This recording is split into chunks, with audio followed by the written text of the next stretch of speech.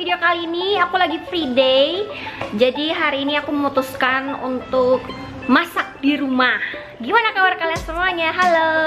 Aku hari ini mau masak mac and cheese Macaroni and cheese Tapi yang homemade dan no bake. Ini ala-ala aku banget. Cara ini biasanya aku pakai kalau di rumah lagi nggak ada bahan makanan.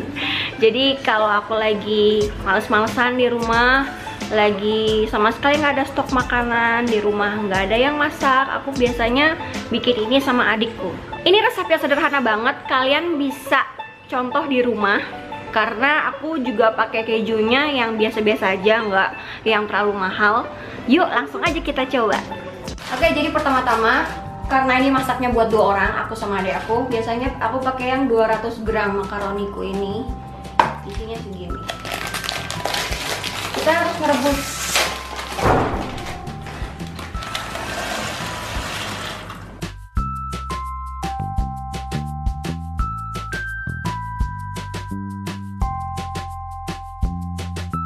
masukin garam sedikit.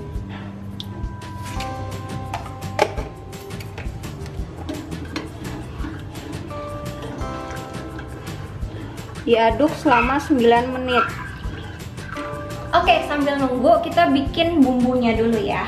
Pertama-tama kita masukin menteganya ini. Segini aja.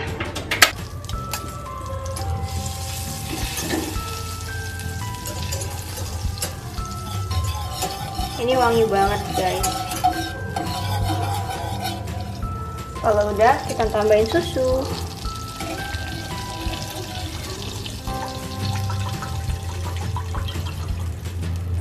Satu box ya.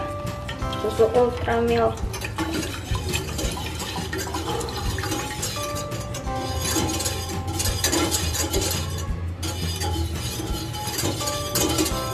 Tapi kalau misalkan kalian merasa masih kurang boleh tambahin lagi. Pokoknya jangan sampai dua box deh. Paling banyak satu setengah box ultra milk Nah kalau udah merata kita tambahin flour tepung. Bisa kalian pakai segitiga biru atau tepung biasa juga boleh. 3 sendok. Diaduk lagi sampai rata.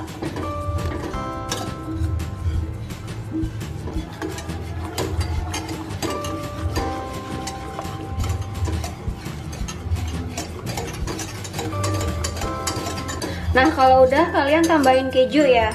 Kejunya udah diparut. Keju biasa aja, keju Kraft yang block Aduk lagi. Kita tunggu sampai kejunya melt.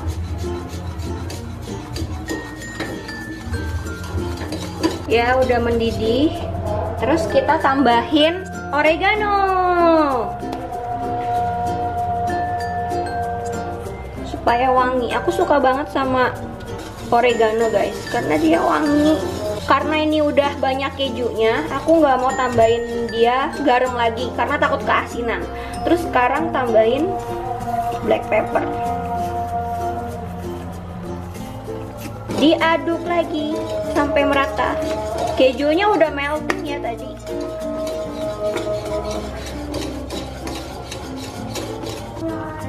Jadi ini udah merata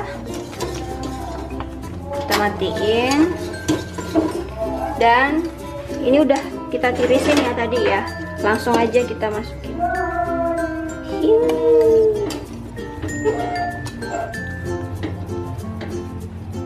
Ini wangi banget guys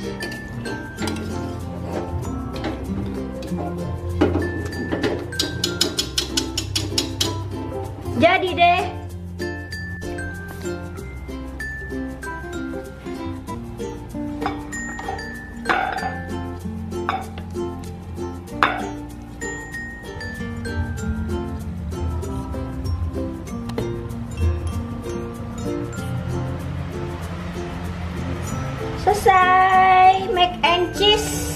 Sederhana, homemade buatan aku, no bake. Hmm.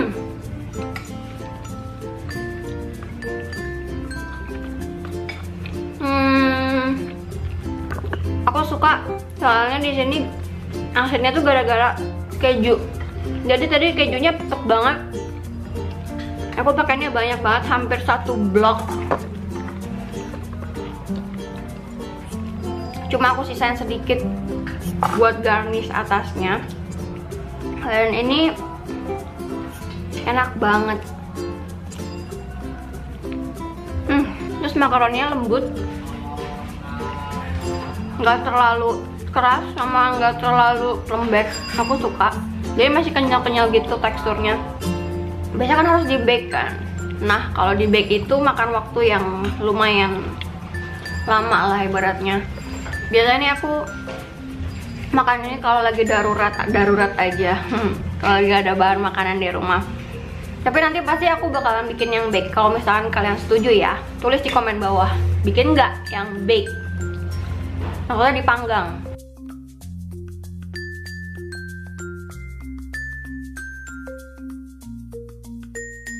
Enak nggak? Enak enak thank you guys for watching jangan lupa di like comment dan subscribe. Kalian bisa coba sendiri di rumah. Kalau misalnya kalian udah nyoba jangan lupa di post di instagram tag at oke nanti aku like. Dadah semuanya. Stay happy and love you. I love you. Mwah.